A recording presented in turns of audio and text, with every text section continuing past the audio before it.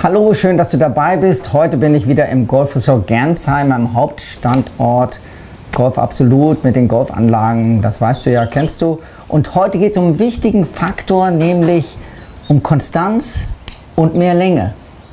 Das sind ja zwei ganz entscheidende Faktoren und das hat hier mit unseren Händen zu tun, mit dem Griffdruck. Ich freue mich, wenn du dabei bist. Bis gleich.